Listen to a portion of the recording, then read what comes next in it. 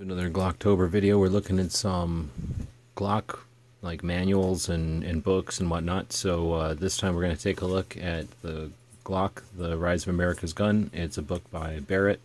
Uh, great book. Uh, I'm always I can't talk enough of good stuff about it. Uh, it doesn't matter if you like Glocks or not. This book is about gun culture in the United States, the gun industry in the United States, and it puts it in a great perspective. Gives you a lot more in uh, using Glock as the theme. It gives you a lot of insight to just the the gun culture and history and the laws and everything. It's just a great book.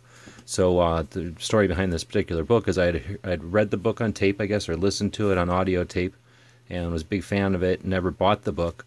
Then we were sitting there minding my business at Shot Show, and some guy goes to stick this on the table in the media room when I was just sitting there, and uh, I go, "Hey, what do you know about this? Is this guy speaking or something?" Because uh, they'll have occasionally have authors do little speeches about their books or questions and answers.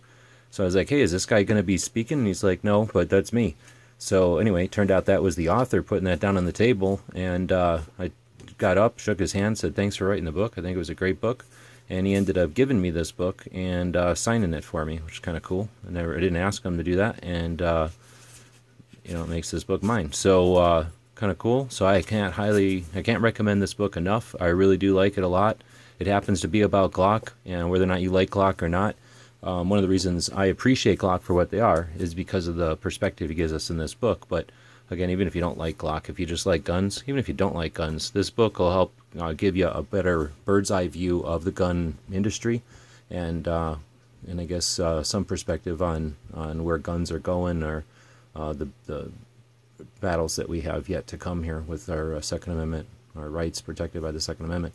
So that's the book. If you've read it, let us know in the comments. If you haven't, uh, I don't know, let us know in the comments as well.